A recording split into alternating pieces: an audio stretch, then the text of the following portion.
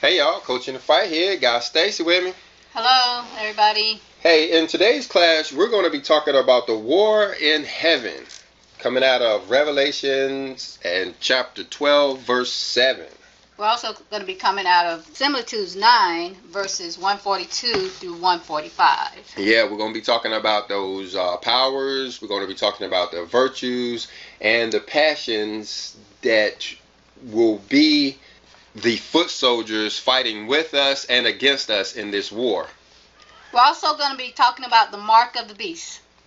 Yep, that's right. In light of all of these uh, vaccines and different stuff that's going on in the world, we wanted to touch on some important stuff, but we're going to save that towards the end of the video. All right, so this war that we hear about that's going on in heaven, we see that over in the book of Revelation and chapter 7. Verse 7 And there was war in heaven. Michael and his angels fought against the dragon, and the dragon fought and his angels. Now, to understand this war, we have to understand where heaven is. Not necessarily some place in outer space or off the planet, but so much as in the hearts and the minds of humanity. When the scripture talks about heaven and the people that dwell in heaven, it's talking about people who are spiritualized. Whereas when it's talking about people who dwell on the earth, it's talking about people who are still materialistic. Have you ever noticed that? Yeah, um, when you start talking about the kingdom of heaven is at hand, at one time I was thinking it was actual place uh, that you go to, but now from my understanding it's a um, part of who you are. So when we're looking at this war that's taking place here, this is actually a war that's taking place in our hearts or a war that's taking place in our minds. Mm-hmm. So looking here, we're in Revelations and chapter 12. We start off talking about the great wonder in heaven that appeared in the sky in 2017, talking about that Revelations 12 sign in the sky. Okay, now that actually was something that you can see.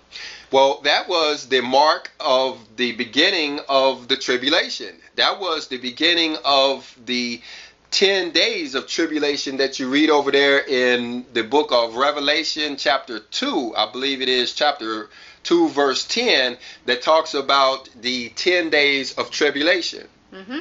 Well, that corresponds to 10 days of awe that we hear about in the scripture the 10 days of awe representing uh, repentance and restitution, how does that connect? For that, I have to jump you over to a book called Gad the Seer. And we're going to look all the way down in the last chapter of this book. Like I said, I've covered this in several classes in great detail that you guys can look up. Just look up the 10 Days of Awe uh, classes on our channel chapter 14 starts off talking about Rosh Hashanah, which is the first day of the seventh month, which is just before we saw that Revelations 12 sign in the sky in 2017. This is one of the ways that we know that that sign, that, that star alignment actually signaled the beginning of the tribulation.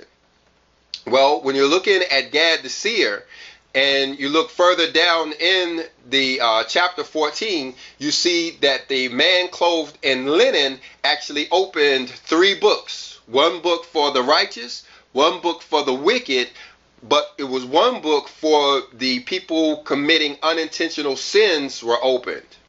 You see that in verse 10. And when he opened this book of unintentional sins, it was set aside for 10 days, giving the people the opportunity to repent of their sins and correct themselves for the 10 days. Okay. All right. So that makes sense. So, right now, as we are in about the fourth or the fifth day of the seventh month, we are in the 10 days of awe as it corresponds to 2020, but understanding that the 10 days or the 10 years of tribulation started in 2017, we are actually in the 10 years of awe, giving us 10 years to repent, 10 years to self correct, 10 years to get back with the Father before the day of atonement hits in the year 2027. Mm-hmm. So that's why we wanted to talk about this because we read in the book called The Shepherd of Hermas about repentance, right? Yeah, the shepherd of Hermas um, is the angel of repentance, and he is the main character of the entire book. Yeah, this whole book is written. Um, almost the entire book is written from the voice or the instruction given by the angel of repentance. This is uh, I believe it is Uriel, the archangel Uriel, and we find out in this book that he is over all of the repentance of the entire world.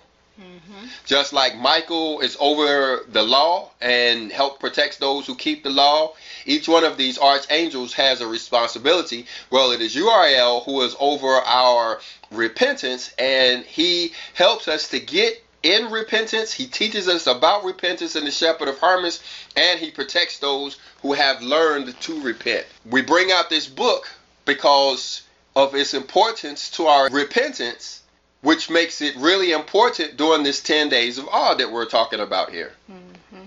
Well, we want to talk about only a certain section in this book in today's class because we've done a lot of classes on this book so far, right? Yeah, we've covered the majority. Um, I think we're missing one chapter, which is Visions 3 um, of the entire book. Yeah, when we're only missing a few verses out of that one as we haven't finished it. But you can find a playlist to where we've done a uh, verse by verse study of all of the similitudes from the Shepherd of Hermas. Yeah, I would encourage you guys to go and go through the pay- playlist and study up on the Book of Hermas It's a very important book especially during this time. I guess the first suggestion would be to actually read the book or at least listen to the audio of it. But Stacy and I have been studying this book for a lot of years now. I think it's almost 20 years between the two of us. And so when we gave our class, we was able to give a few insights and stuff that you may have missed by reading it on your own. But again, I would suggest that you do read it on your own, especially yeah. during this time of repentance. Right. Well, let's jump down and let's talk about these virtues or powers. Well, we're going to go to Similitudes 9 and we're going to talk briefly about the virtues as well as the passions. And this is covered in verse 142 through 145 and it's on page 257 if you're reading along with us. And the book she's talking about, 257, that's actually going to come out of the book called uh, the lost books of the Bible and the forgotten books of Eden, which is uh, one of the volumes of books that you can actually find this book called The Shepherd of Hermas.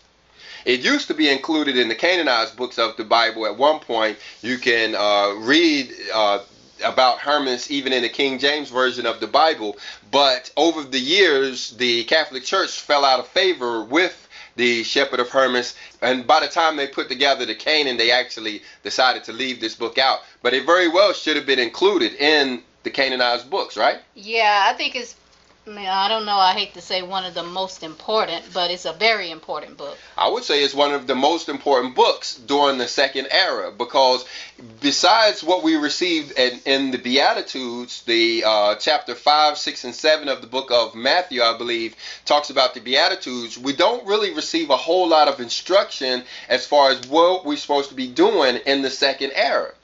Well, this book of the Shepherd of Hermas actually held that instruction. It actually told us what we were supposed to do. Just like when Moses gave us the law, those it, within those laws gave us guidance on how to live our life. Yeah, and what, the Shepherd of Hermas gives us guidance on how to make it through the second era. Is that what you're saying? Yeah, that was the guidance we were supposed to receive in the second era, teaching us how to, how to love each other, teaching us you know, what it means to love each other.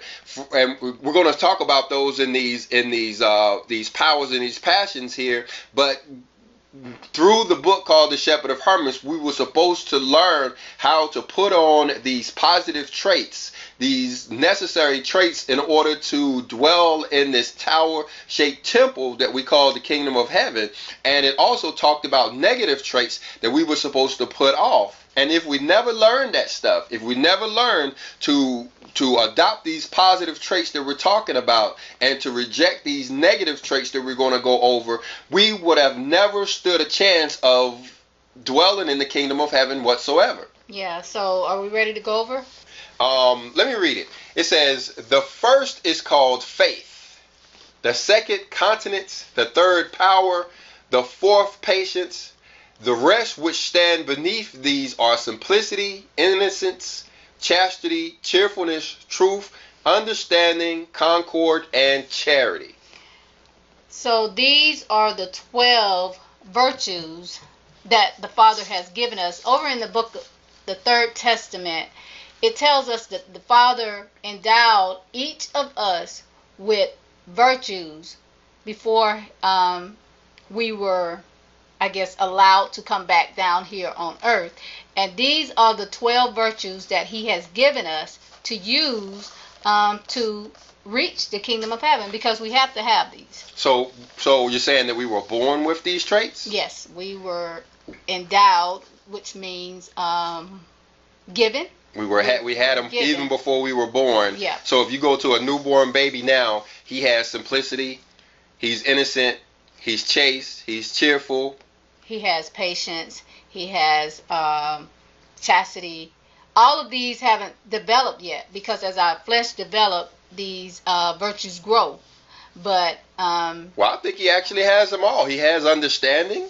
correct. He has he has charity. He's he's a he's he's a charitable child. Yeah. It's only when you get up in age and about uh and start school there in Head Start that you start being stingy. Mm-hmm. Yeah. Yeah. start fighting over toys and stuff. Yeah. So Mhm. that's a very interesting point that we were actually born this way, and then over time we learn to take on these negative traits that we're going to hear about. Yeah, because you have to remember that these are traits of the spirit man. Okay. And when we get ready to read again, we will see the opposing traits, which are the traits of our flesh man. So these are the traits that the Father has given us and that we're supposed to make use of them. Yeah, and we also learn in this book that we have to take on these virtues. Like we said, if we want to be in the kingdom of heaven, we're going to have to have each one of these virtues as a part of our life. We're not going to be able to make it in if we're not if we don't have simplicity. Right.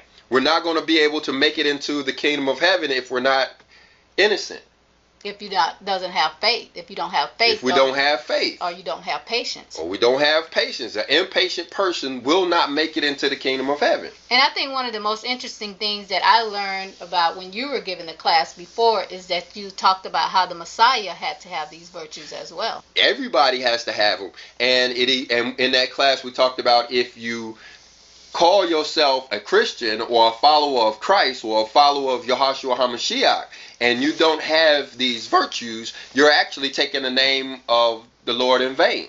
Yeah, well, we're saying everybody has to have them. Everybody do have them. Um, everybody was born with them. We just have to, um, I guess. Well, some of us lost our patience. I know I lost my patience. I had to go find patience. I had to go. Patience and me was at a distance way back, you know, a few years ago. Yeah, that's true. Me and patience, we had to become reacquainted, you know.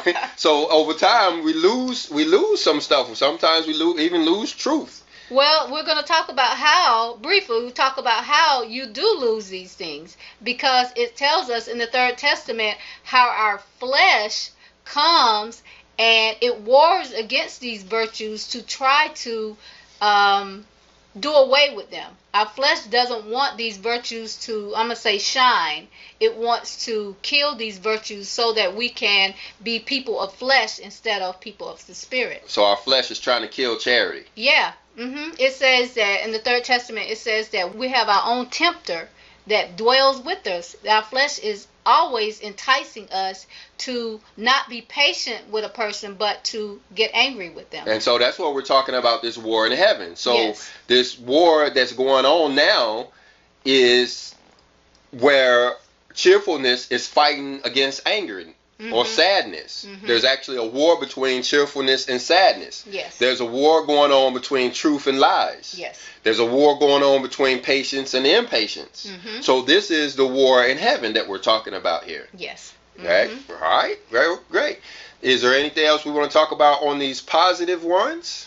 Um, just to remember that you know that these are um, attributes of our spirit man. These are the ones that we want to have, and um, the shepherd of Hermas uh, pictures them as virgins. Yeah.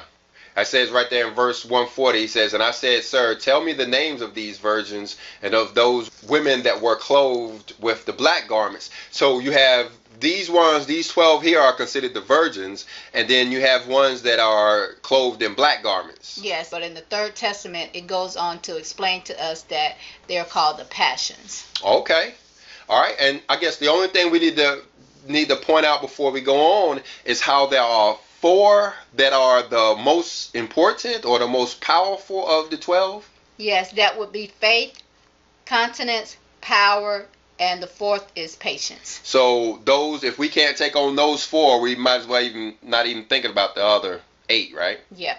And the same is true for the ones clothed in the black garments, right? Yeah, those are the opposing ones. Yeah, and we a lot of times we hear in the scripture, you know, people will quote and say, "We don't fight against flesh and blood; we fight against principalities and powers." Mm-hmm. Aren't these the powers that they're talking about? Yeah, these are the ones. These these these ones clothed in uh, in in the black garments. Let me read about those. It says, "Here now said he the names of those women which were clothed with the black garment. Of these." Four are the principal. The first is perfidiousness, the second incontinence, the third infidelity, and the fourth is pleasure. So these have four most powerful ones too. Yeah, they seem to all be opposing um, each other. Uh, there's four that are very powerful of the virtues, and there's four that are very powerful of the passions. Now, we would suggest that you go in and look these words up, right? Yeah, look them up, and then you know uh, it will be fun to see how you can get them to match back and forth to see which ones um, oppose the other one. Yeah, yeah. They, it takes a, it, it's kind of like a puzzle when you try to figure out which one goes to one because it's not a direct relationship. Right. Perfidiousness is not the opposite of faith. Correct. Right, but he, she does have a, a, a, opposite counterpart over there on the good side. Let me read 145. He says, "And the rest which follow are called thus: sadness, malice, lust, anger, lying, foolishness, pride, and hatred. The servant of God which carries these spirits shall see indeed the kingdom of God, but he shall not enter into it."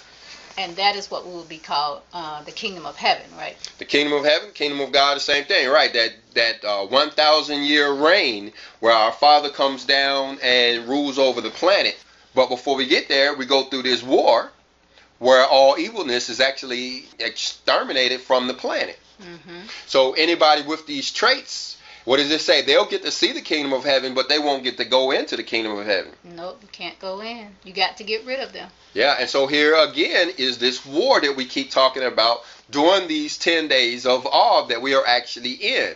And so again, this is the purpose of this class so we can realize we're given some time in order to uh, correct ourselves to repent of our faults and our flaws, but this here is many of our faults and our flaws that we have to deal with.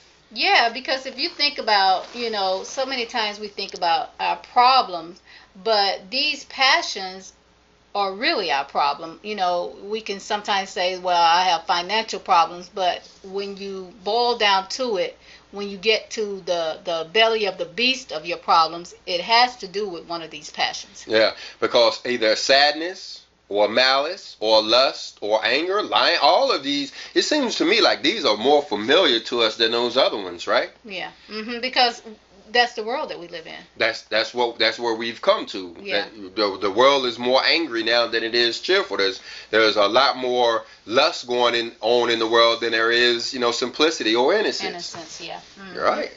Um, very interesting points. So again, this is that war. There, this is the fight. So the fight that's going on in heaven or going on in our minds is you have Michael who is fighting for us, but I guess we have to help him out in this battle too and help fight off these wicked spirits that he that he talks about here. We have to fight off pride. We have to fight off anger. We have to fight off hatred. And the great thing about it, and you always talking about it in your classes, is now we have time to prepare. We have time to start getting ready and time to um, start working on these things. Yeah, because we are in in this these ten days of awe, we're given this opportunity. The, the, like I said, there were three books that was open. You had the book of the righteous that was open. Those people already received eternal life. They good. They're off in the wilderness. Let's jump over there in the in the book of uh, Revelation right quick. Those people back in 2017, those people were uh, called away into the wilderness you see right there where it says that she flew away into the wilderness, into her place where she is nourished for a time, time and half a time. So these are the people that were righteous. These were the people that are that were holy. These were the, the people that were doing the right thing when these books were opened.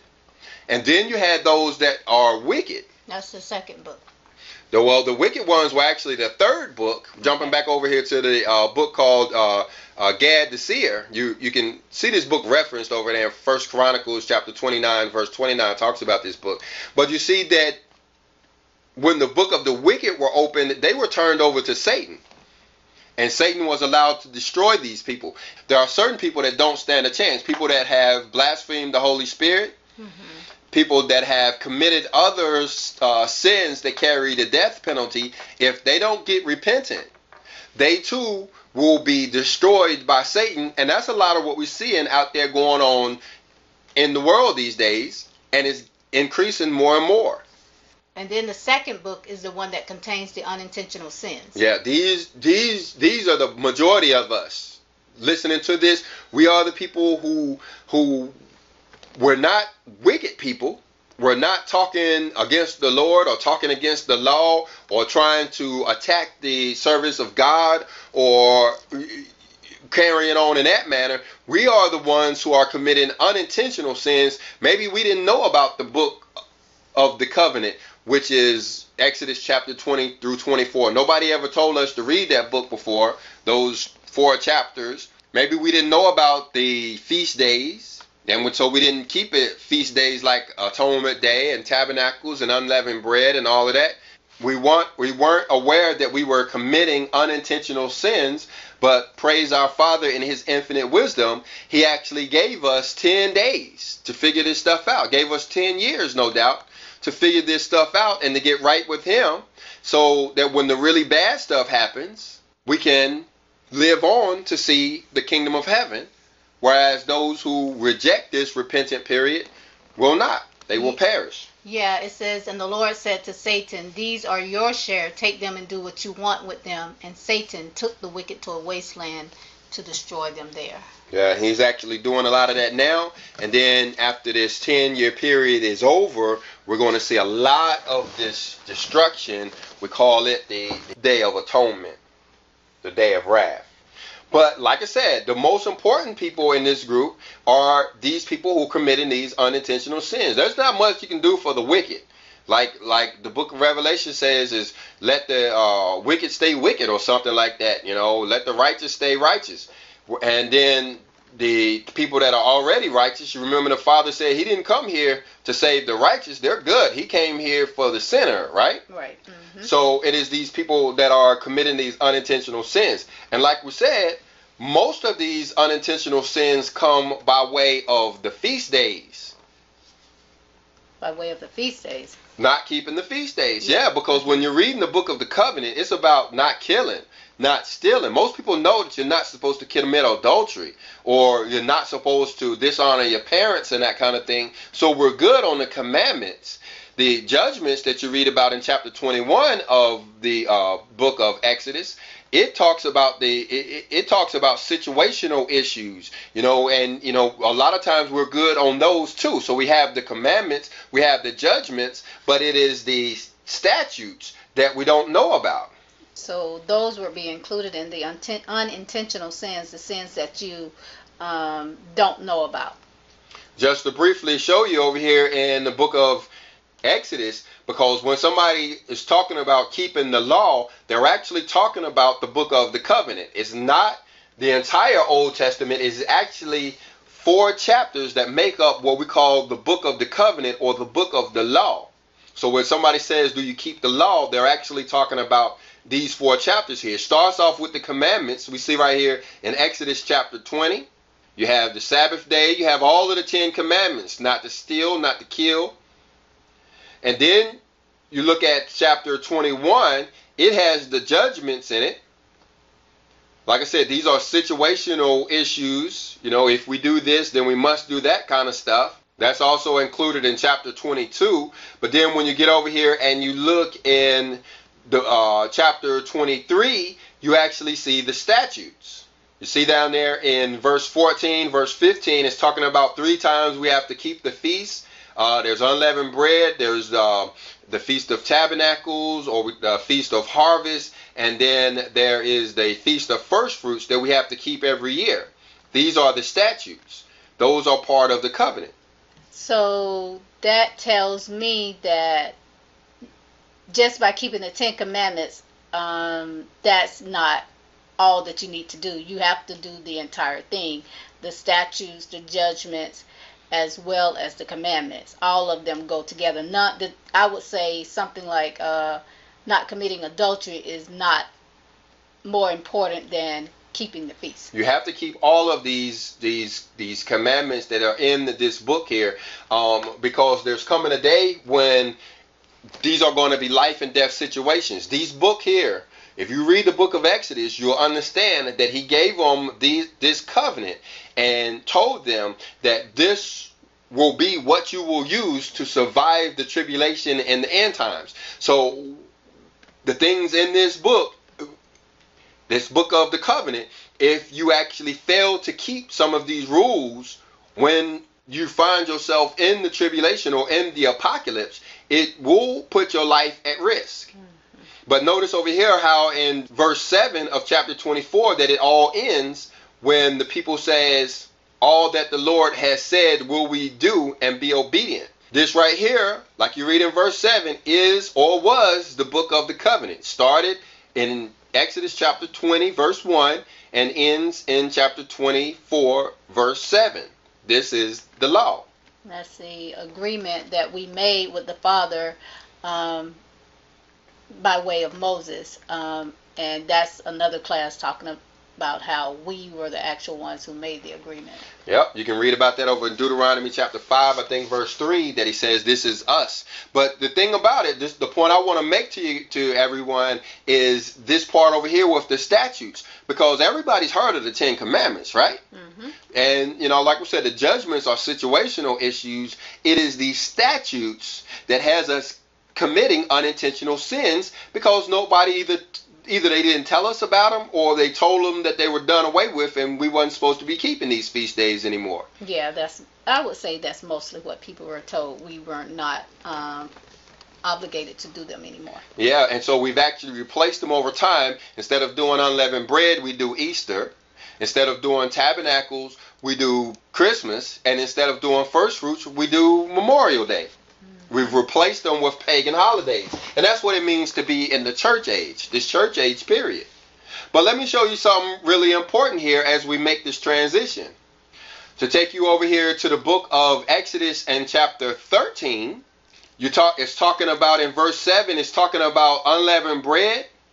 You see that? Mm-hmm. This is one of the mandatory feasts that we just read about, right? Okay. Well, look down here, verse 9. It says, And it shall be for a sign unto thee upon thine hand and a memorial between thine eyes. This is the mark of the Father. Right? Mm-hmm. There are many people today who are worried about the mark of the beast. Well, it should be easy to understand that having the mark of our Father will prevent you from getting the mark of the beast. Right. But let me show you something really interesting. As it's talking about the mark on our hand and our forehead. Read verse 16. Verse 16 says, And it shall be for a token upon thine hand, and for frontlets between thine eyes. For by strength of hand the Lord brought us forth out of Egypt.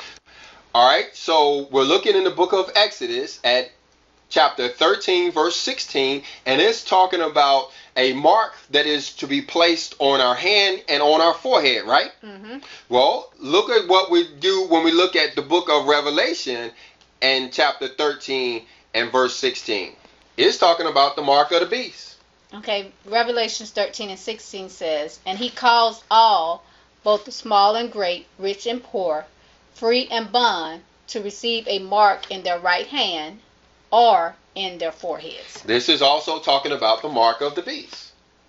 Well, what got me over here kind of freaking out is Exodus 13 and 16 and then Revelations 13 and 16. yeah. yeah. I'm like, uh, did anybody else notice that? yeah, exactly. And it, and it's pointing to the same thing. And so that's where we're going to actually start talking about next is the uh, mark of the beast. In light of some information that I heard just here recently. Talking about um, the vaccines? Yeah, this, from what I understand, you have these people who are out here who are trying to come up with a vaccine to cure this coronavirus. Mm-hmm. And they have already started producing the pill, even though they are actually still in trials right now, human trials. Still in production. They're still trying to make this thing and prove that it's safe. Right. And they're giving it to people who have volunteered to, to do these studies. And they've had two people who have been diagnosed with what they call neurological issues. Mm-hmm. And they have halted the study. We didn't really hear about the first one. It was a woman who had something what they call a neurological issue, and they halted the study. But then they started it back again, trying to prove that these vaccines are safe. And then here recently, within the last 24 hours, there's another lady who they're claiming had neurological issues, and they have once again stopped the trial. But look at it, what it is that she is reporting. This lady they say out of the blue, she comes and says, They've killed God. I can't feel God. My soul is dead. Okay. This is AstraZeneca, one of the big pharmaceutical companies who's in charge of coming up with the vaccine. Mm-hmm. Has a lady who they're giving this vaccine to. And she's reporting that they've killed God. She says she can't feel God anymore and now she feels like her soul is dead. And this ties in with the mark of the beast. Well, actually, it does. When you think about some other information that we have received by way of what they call the VMAT2 trait. That's the God trait. Yeah, they call it the God gene or something like that. Mm-hmm. And so, what we're going to do next is we're going to actually play the audio of a leaked video that they recorded at the Pentagon as they were presenting a way to target this gene that they call the God gene. And we're going to um, show how this video and the information about how the lady says that they have taken away God, how that's going to um, how it's related yeah, to vaccines and related to pandemics and flus and stuff. These people are actually talking about it in this video how they had a plan way back in 2005 to use viruses in order to target the God gene. And that's going to show us or maybe possibly tell us that this vaccine could possibly be the mark of the beast. Possibly? There is some type of relationship, and that's why I wanted to bring people's attention to it. You know, I'm one of the last people that wanted to believe that this pandemic has something to do with the mark of the beast. But in light of all of the recent evidence, I can't really deny it. Because after this video, I'm going to show you a couple of other videos. But let's go ahead and get to this one first excuse me, on the left over here, we have individuals who are religious fun fundamentalists, religious fanatics, and this is the expression, uh, RT-PCR, real-time PCR uh, expression of the VMAT2 gene. Over here, we have individuals. so, so, so let, let me complete. So over here, we have uh, individuals who are not particularly uh, fundamentalist, not particularly religious, and you can see there's a, a much reduced uh, expression of, of this particular gene, the, the VMAT2 uh, gene. Uh, another evidence that, that supports our, our hypothesis for the development of, of, of this um, approach. Uh, so what, you, what you see here is by, by, by spreading this virus, we're going to eliminate individuals from donning on a bomb vest and going into a market and blowing up the market. So our, our hypothesis is that these are fanatical people, uh, that they have overexpression of the VMAT2 gene, and that by vaccinating them against this, we'll eliminate this behavior.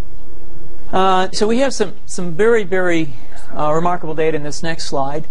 Uh, here we have two uh, brain scans. These are fMRIs. Uh, these are two different individuals with different levels of expression of VMAT2. Uh, on top uh, is an individual who's a religious fanatic, and individual, and we've repeated this numerous times, that, that uh, has uh, high levels of VMAT2.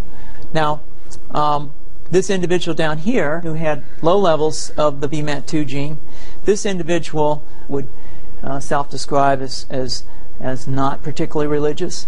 In, in each case, uh, these individuals were, were read a religious text.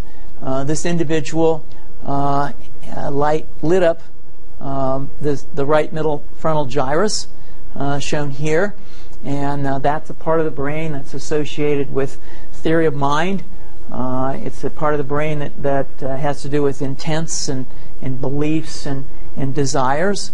in contrast, in marked contrast, here's an individual who would not particularly uh, self-describe as, as religious. And when they're read a religious text, what you see is that this part of the brain called the anterior insula lights up. This is a part of the brain that's associated with, with disgust or displeasure on hearing something. Uh, so you're suggesting I take a CT scan with me when I'm uh, evaluating people to determine whether I put a bullet in their head? So, so um, the, the data that I'm presenting here uh, supports the, the concept that, that we're proposing.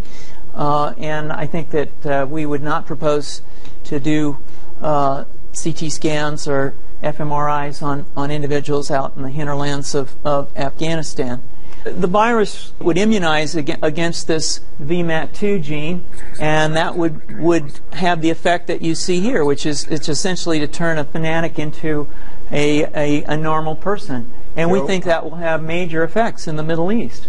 How would you suggest that this is going to be dispersed, the aerosol? Well, so, so the, the present uh, plan and the tests that we've done so far um, have used uh, uh, respiratory viruses, uh, such as flu or, or uh, rhinoviruses, and uh, we believe that that's a satisfactory way to get the exposure of the largest part of the population. Most of us, of course, have, ha- have been exposed to both of those viruses and and we're we're quite confident that, that this will be a, a, a very successful uh, approach. This is fascinating. What's the name of this proposal? Yeah, so so the name of this project is FunVax, which is the vaccine for religious fundamentalism. And you have a proposal already? The proposal uh, has just been submitted, and I think that the data that I have shown you today would would support uh, the, the development of, of this project, and we think it has great promise. So we just seen in that video how these people are able to identify what they call the the God gene.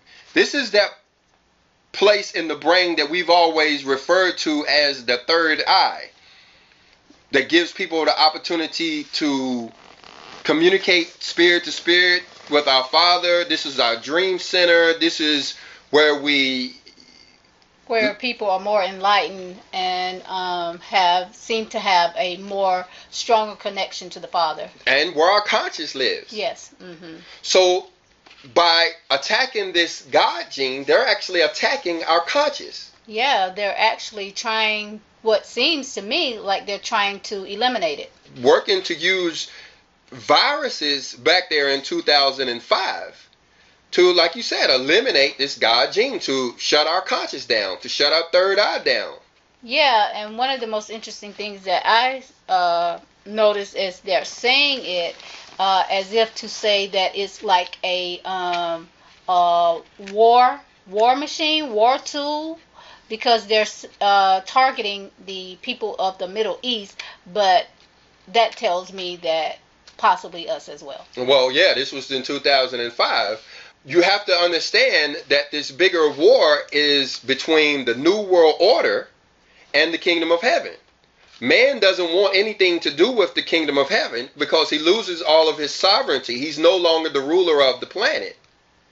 And he doesn't want that. So, one of the ways that, or maybe the only way that he can prevent us from making a transition into the kingdom of heaven is to shut down this God gene, this VMAT2 or whatever they call it. Yes, for us to have nothing to do with the Father, uh, to be, I guess, insensible to Him. Like that lady said, she felt like God was dead. She no longer could feel the presence of God.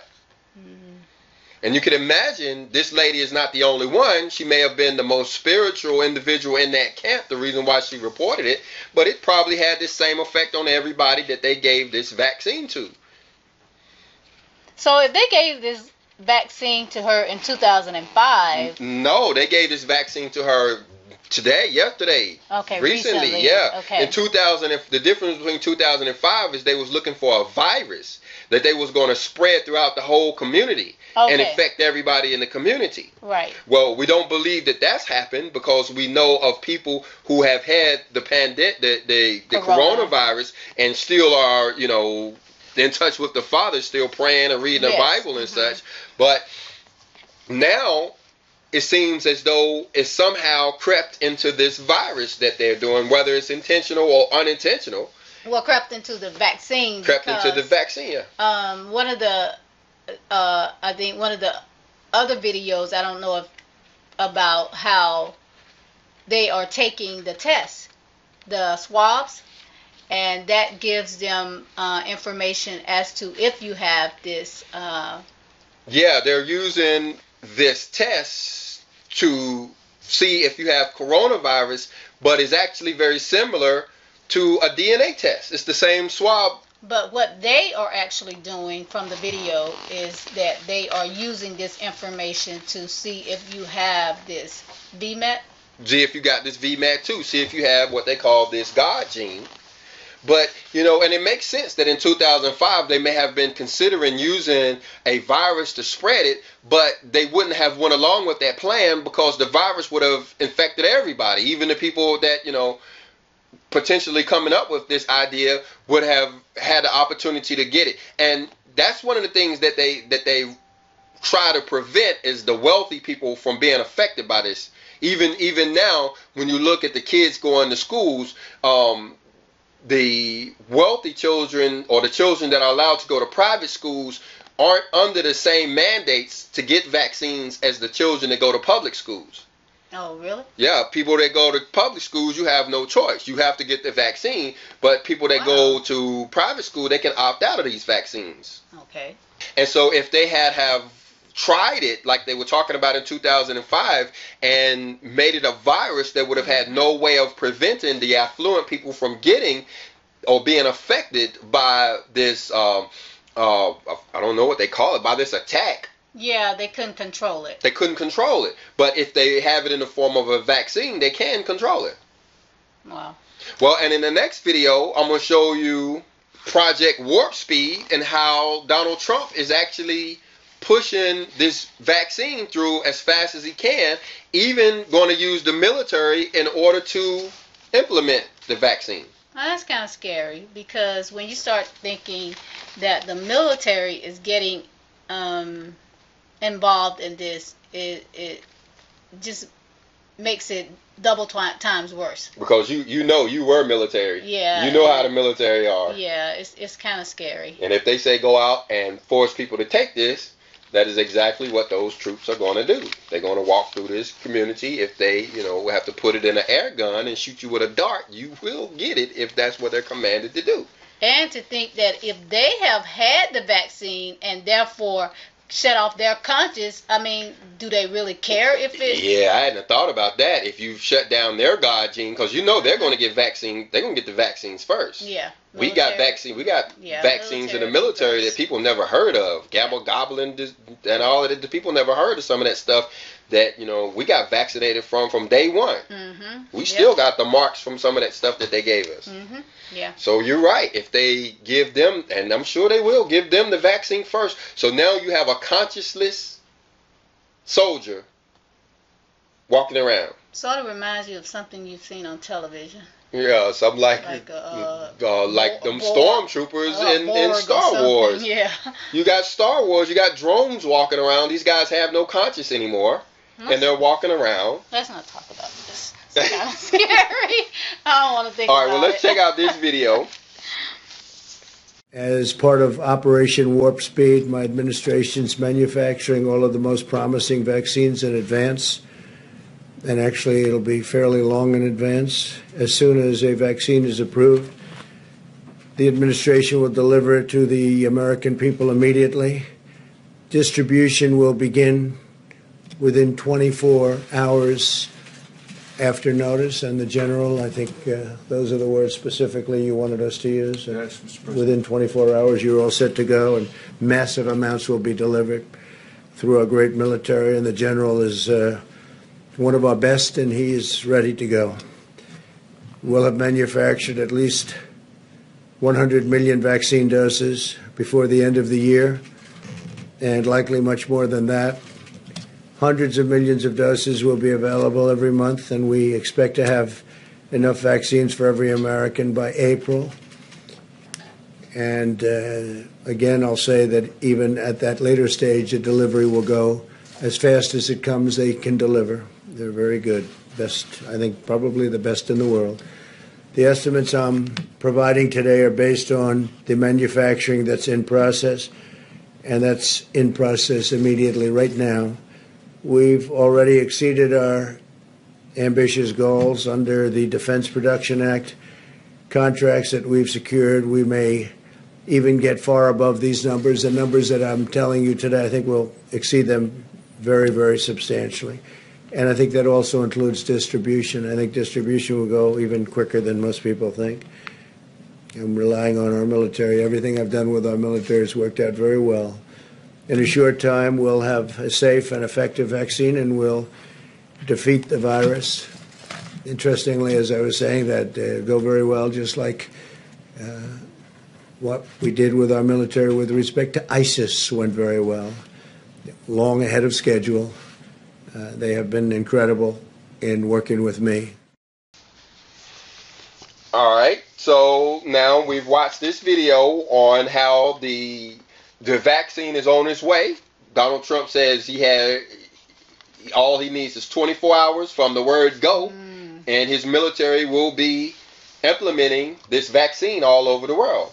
Yeah, now we really don't know exactly how they will do it. Uh, I would hope they would abide by the Constitution and not try to force it upon you. Um, we were talking about it earlier how if they forced it on you, then that would not give you the option to buy, sell, or trade. But you know, we don't know what's going on. We well, in this next little short video, I'm gonna show you how they could actually make this mandatory. Make it to where you can't buy, where you can't sell, or where you can't trade or go to work or go to school if you don't have this vaccine. I'm speechless and scared. As we race to develop a coronavirus vaccine, some major questions are emerging. Good evening. I'm Kimberly Hunt. And I'm Steve Atkinson. A lot of people are wondering if the government could force people to get it, or could people who refuse get banned from stores or lose their jobs? ABC 10 News anchor Derek Stahl spoke with a legal expert to get some answers. Imagine a world where you have to get vaccinated and show proof to go shopping, board a plane, or just go to work. Legally, it could happen, says University of San Diego law professor Dove Fox. States can compel vaccinations in more or less intrusive ways. They can limit access to schools or services or jobs if people won't don't get vaccinated. It could force them to pay a fine or even lock them up in jail. Those measures have been adopted in other countries like France, but not so far in the United States. It all dates back to a Supreme Court case in 1905. The court held that Massachusetts could fine people for not getting vaccinated against smallpox. That case became the basis of vaccine requirements at schools across the country courts have found that when medical necessity requires it, the public health outweighs the individual rights and liberties at stake. Just last year, New York City passed an ordinance fining people for not getting a measles vaccination. But there's a big difference between what states have the power to do and what Congress could do. There are these questions, separation of powers, Commerce Clause uh, questions. Professor Fox says a federal vaccine requirement would probably get shot down by the current Supreme Court based on a 2012 ruling on the Affordable Care Act. That means we could have a patchwork of different vaccination requirements in different states.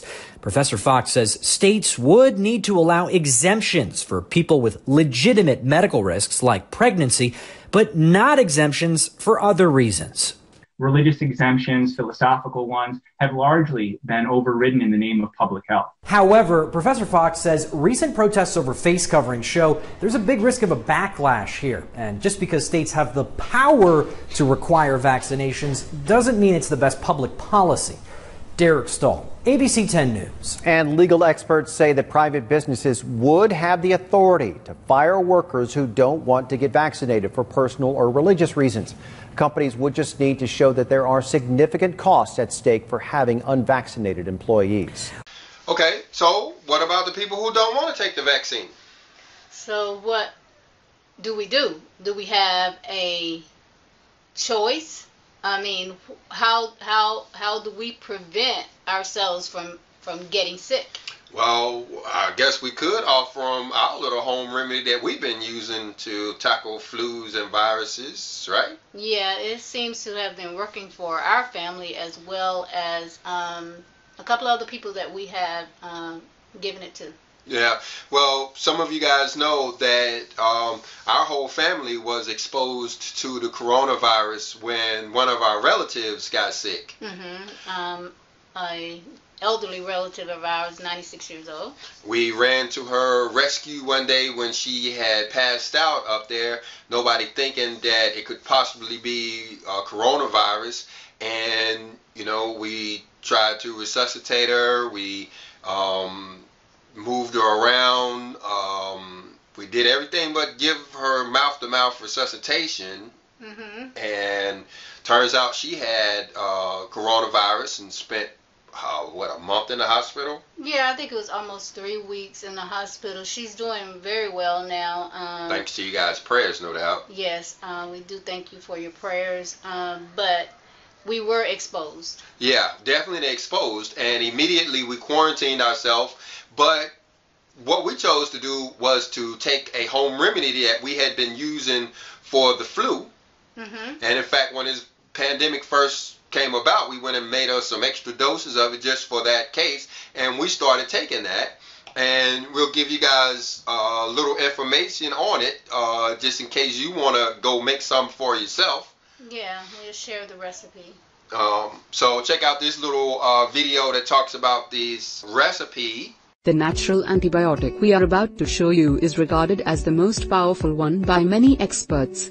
It can very effectively cure infections, destroy parasites, purify the blood, boosts blood circulation and lymph flow in the entire body. It also has potent antiviral and antifungal properties, which helps to treat various chronic conditions. It is a potent weapon against candida and all kinds of viral, bacterial, parasitic and fungal diseases. The effectiveness is due to the combination of high quality, natural and fresh ingredients used in it. Now let's see how to prepare this natural antibiotic. Okay, now, is that it? Is that all there is to it? Or hasn't our Father provided us with some other ways of protecting ourselves? Um. Well, you know, the scripture has told us time and time again that these pandemics were coming.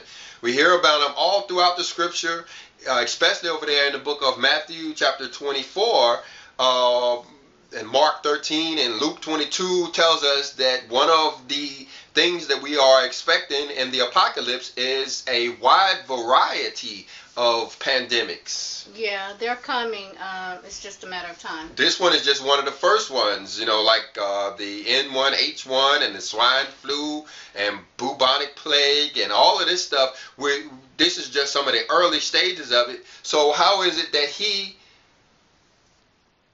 wants us to protect ourselves? If he told us that it was coming, surely he gave us some scripture that we could use to know what to do to protect ourselves, right? Yeah, there's scripture. Um, I always go back to the um, Third Testament, which um, there's a chapter that deals with illnesses and sickness. And one of the things that always um, come back to me whenever I am sick, and he said that our greatest weapon for um, illnesses is our obedience to the law obedience to the law, and like we were talking about earlier, taking on the uh, mark of our Father, which, like we said, involves keeping the statutes, and we showed you how uh, uh, doing the feast days gave you the mark of our Father. Um, it is actually going to be the pandemic that's going to possibly get people the mark of the beast. What, what I want to bring out here is how the scripture actually tells us how to prevent ourselves from getting plagues. It names plagues specifically over in the book of Jubilees, chapter 49. Is that you're talking about the feast? Talking about the feast days. Uh, read verse 15 right there. Verse 15. And do thou command the children of Israel to observe the Passover throughout their days, every year, once a year, on the day of the fixed time and it shall come for a memorial well pleasing before the Lord.